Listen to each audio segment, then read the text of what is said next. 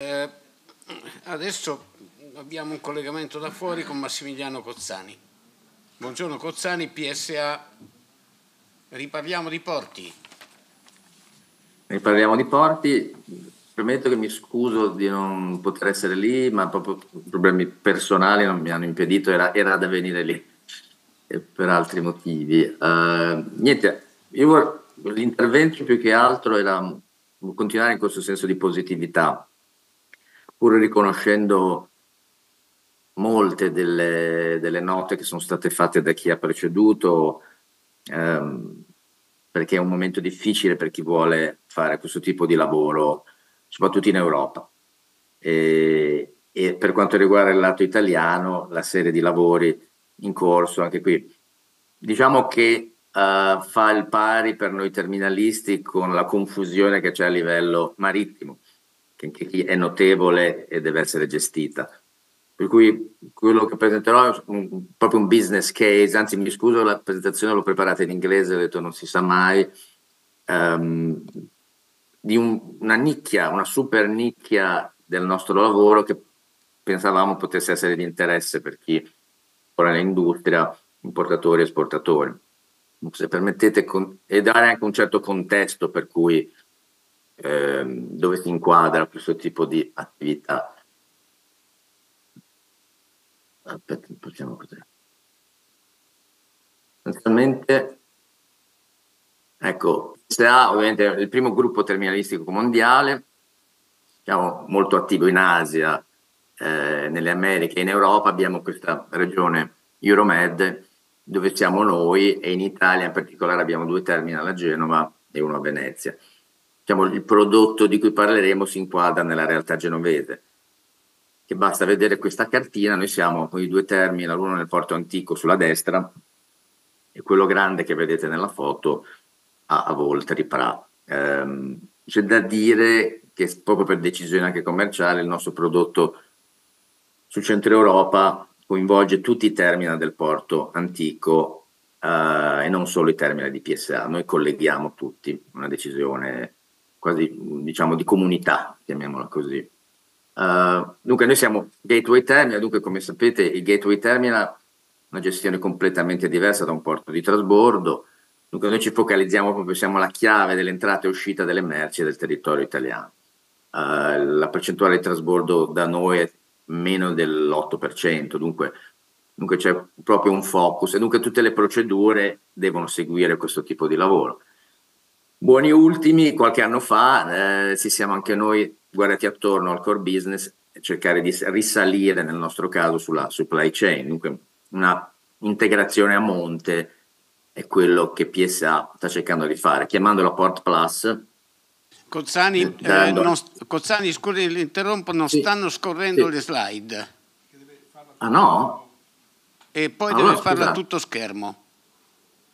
Ecco, allora facciamo tutto schermo, scusate, chiedo anche aiuto qui. Noi siamo ancora alla prima slide. Ah, scuso, allora scusate. Con una bella nave e una barchetta di un pescatore. No, non va bene.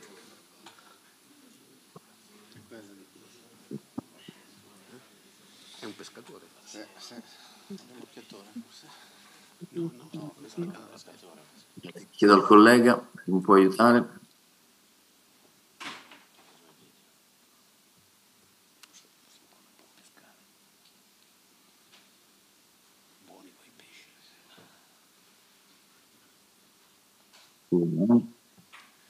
Vedete qualcosa in più?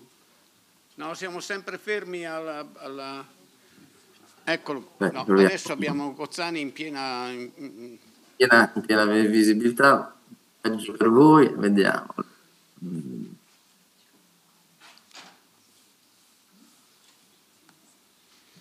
Beh, possiamo rimanere anche così, basta che poi le slide scorrano. No, eh, no. Così vedete? Adesso sì.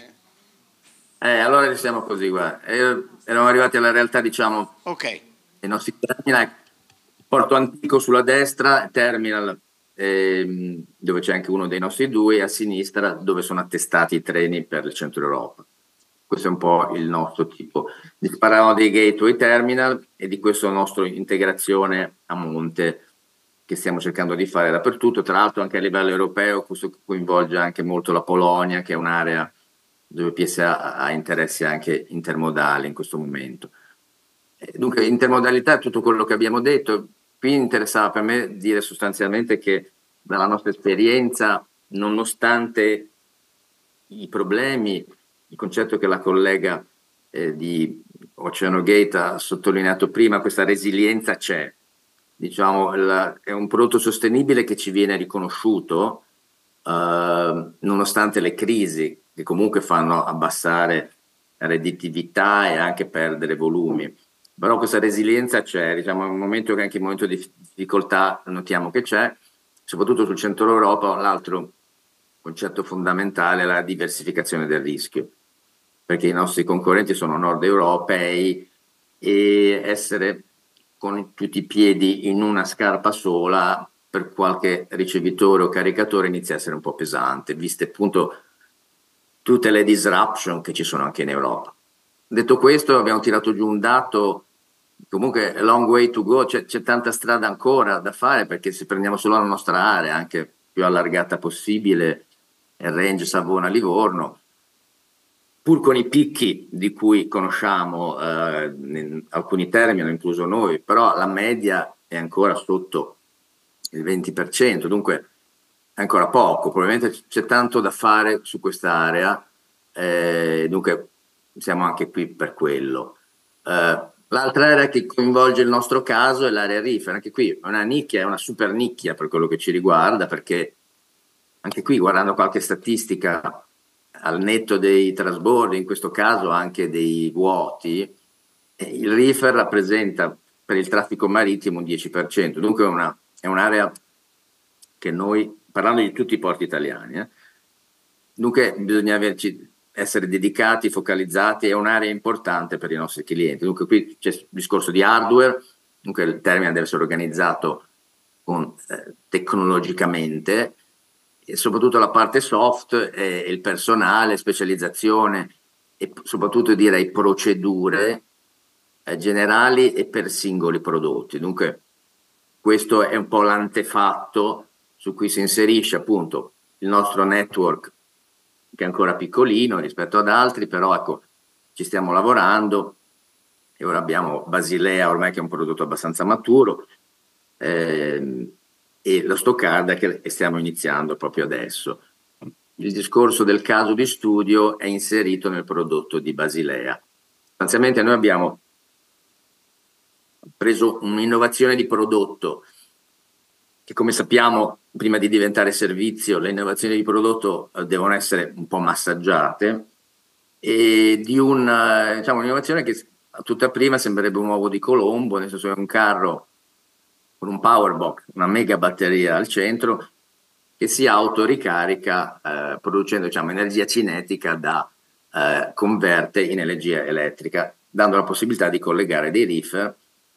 E dunque per i terminalisti il reefer tipicamente su treno poteva essere trasportato solo con dei genset diesel, dunque poco sostenibili e anche con innumerevoli problematiche di manutenzione e gestione. Questo uh, sembrava una cosa carina da uh, verificare. In effetti noi abbiamo fatto dei test l'anno scorso creando dei, del carico dummy, abbiamo messo dei sacchi di sale, abbiamo inserito del, delle sonde eh, dentro il contenitore per verificare temperatura. Ovviamente succede la, la legge di Murphy è sempre lì.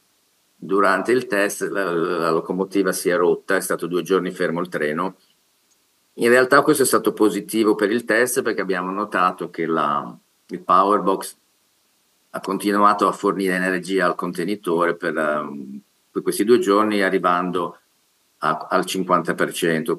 Considerando che era un reefer a meno 18, questo qui ci ha dato una certa sicurezza e a quel punto abbiamo inserito tre di questi carri nel nostro treno per Basilea, dove sono tuttora. Da considerare che Uh, I nostri concorrenti in quell'area sono le barge, sono dunque le chiatte uh, diesel che vanno nei porti del nord Europa, sia Hamburgo che Rotterdam e Anversa. Ovviamente eh, le tariffe sono ben diverse, l'impatto è ben diverso, ma questo è un refrain che per noi che operiamo in quell'area è conosciuto. I nostri costi eh, e per la lunghezza treni e per un sacco di altri motivi sono molto più alti di quelli dei nostri concorrenti. Dunque, in quel senso il terzo valico eh, dovrebbe aiutarci tutti a abbassare ridiventare un po' competitivi. Comunque questo è un investimento a medio termine, costosetto, però riteniamo che abbia un certo futuro. Io personalmente ci credo molto e abbiamo dunque iniziato a approcciare le varie realtà, l'export svizzero tipico eh, foodstuff e latticini e l'import tipico dall'Asia, prodotti congelati e verdure. Um, e dunque questo qui ovviamente eh, il prossimo passo ritengo sarà il pharma Qui abbiamo delle idee anche di certificazione uh, ad hoc. Eh, ovviamente tutto ciò appunto diciamo, il prodotto è una cosa, noi l'abbiamo dovuto condire con procedure operative, priorità eh, documentali, eh, attenzione alle ricariche eventuali per questi tipi di apparecchi che eh, ovviamente training per staff che fanno il prodotto ecco, un, eh, il prodotto è diventato ora un servizio che noi comunque riusciamo anche a monitorare da remoto, non tanto il livello della temperatura di cui noi non siamo diciamo, responsabili legalmente, ma quantomeno il fatto che la macchina funzioni e um, fornisca energia durante il tragitto. È tutto un network uh, collegato e direi che su una tratta punto punto come la nostra questo è, sia un prodotto uh, interessante, ci stiamo investendo tempo e denaro, ma con certi riscontri anche. Questo era un pochino la, l'ambito della, della presentazione e vi ringrazio. Grazie mille Gozzani, grazie.